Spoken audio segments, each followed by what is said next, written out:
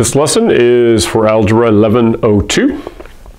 And I'm looking at pages 34 through 37. Hopefully you did uh, pretty well on pages 31 through 35, the addition method. Those are, those are easy, okay?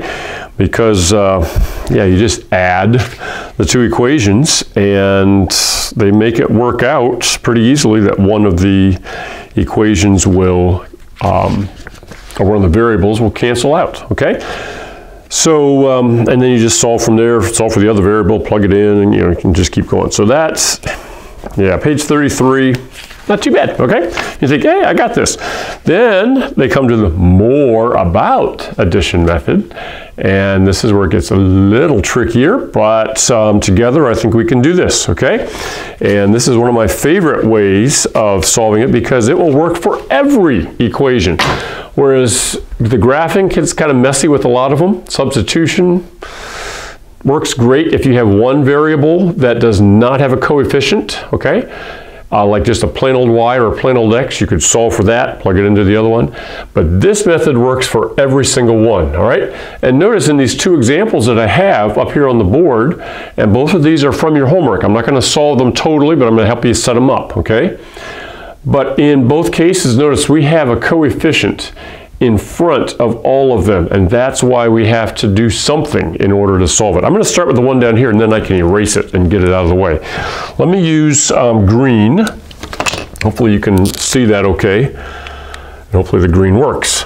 So I'm looking at this and there's, you know, actually, again, there's so many different ways you can do this and get the right answer. You don't have to, there's not just one right way. I'm looking at this one and saying, you know what, if I wanted to get rid of x, I could multiply this equation through by negative 2, okay?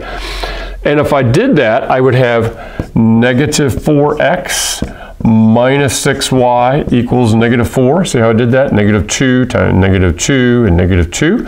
And then put the 4x minus 9y equals negative 1 underneath. And then I could add these two equations. Okay? And then the x's would cancel out. Um, but another way is I can look at this and say, you know what? If I just multiply this one through by 3, this will give me a 9 here, okay?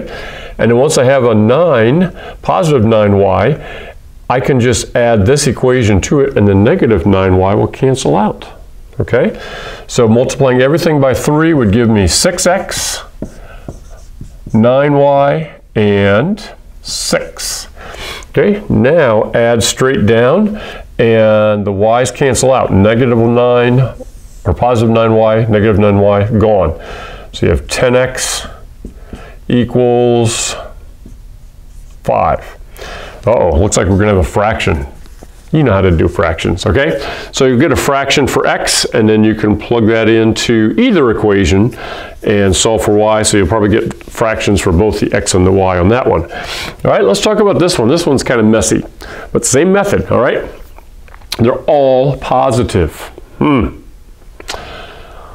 You know, honestly, in a case like this, you just got to go eeny, meeny, miny, mo. Which one do I want to get rid of?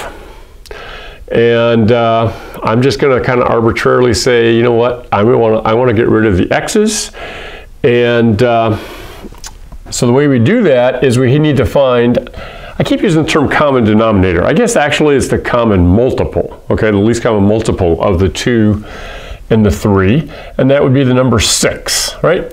So if I multiply this equation through by 2, and this one by negative 3, and I'm talking the whole equation, multiply everything through, then I would end up with, notice, 6x, and down here, negative 6x.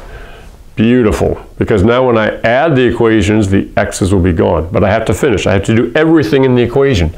So I'm going to distribute the 2 times the positive 14, I'm positive 7, get 14y. 2 times 16 equals 32.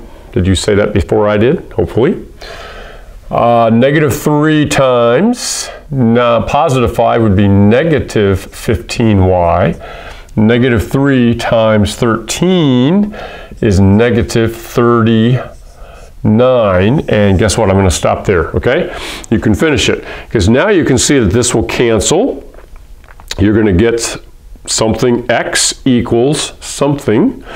Keep solving and you find x. Once you know x, Now you can plug it into, let's say you plug it in here, okay? And then you just solve this equation to find the corresponding y value. Every time, you're going to end up with an x and a y value as your answer. It's an ordered pair, and just to remind you, it goes back to the idea that it could have been graphed, and it'd be a, a point where the two lines cross. So that's why we give an x and a y value. That, whatever numbers you come up with, could satisfy both equations, okay? Hopefully you do well with that and uh, with the upcoming checkup.